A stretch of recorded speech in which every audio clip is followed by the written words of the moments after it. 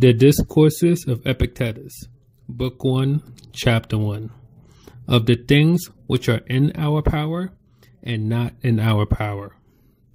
Of all the faculties, except that which I shall soon mention, you will find not one which is capable of contemplating itself, and consequently not capable either of approving or disapproving. How far does the grammatic art possess the contemplating power?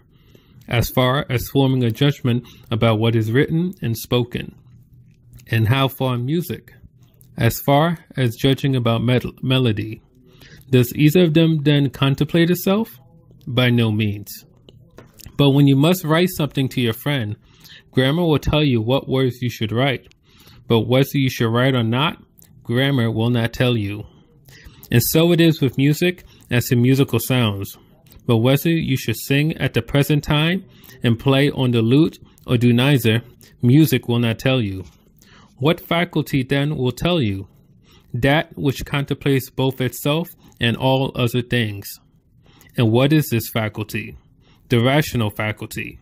For this is the only faculty that we have received which examines itself, what it is, and what power it has, and what is the value of this gift, and examines all other faculties.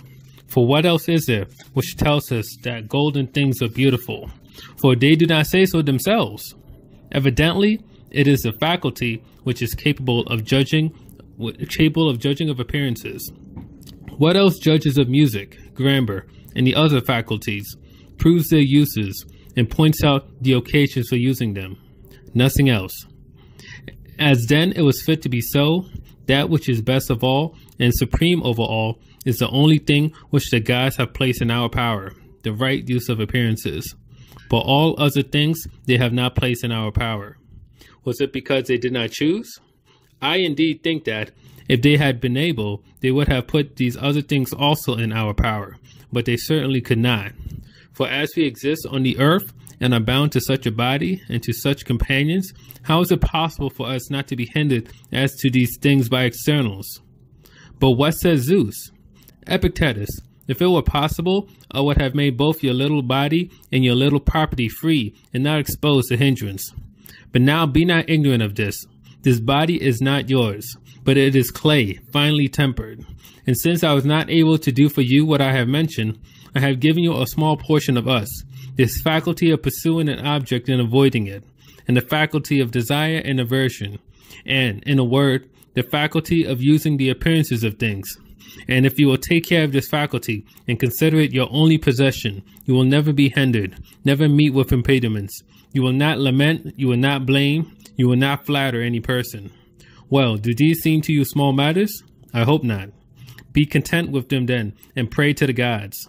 But now, when it is in our power to look after one thing and to attach ourselves to it, we prefer to look after many things and to be bound to many things, to the body and to property, and to brother and to friend, and to child and to slave.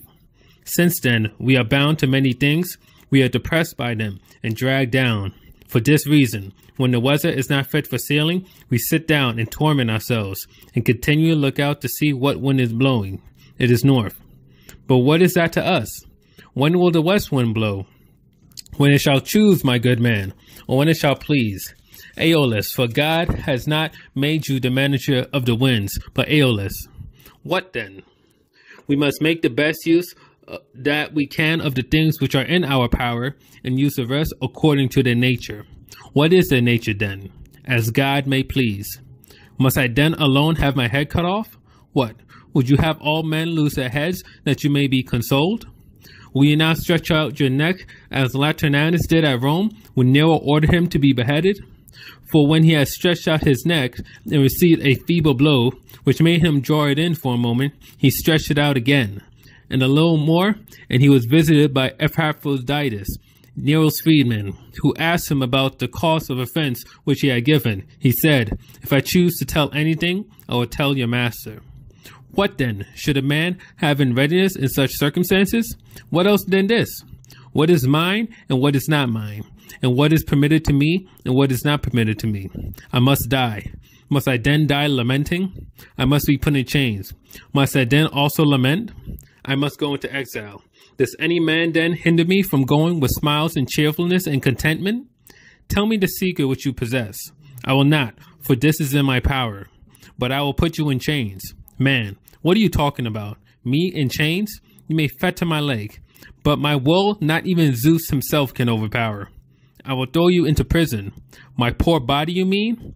I will cut your head off. What when then have I told you that my head alone cannot be cut off?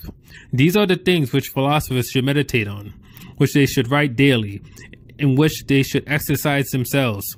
Thrasea used to say, I'd rather be killed today than banished tomorrow.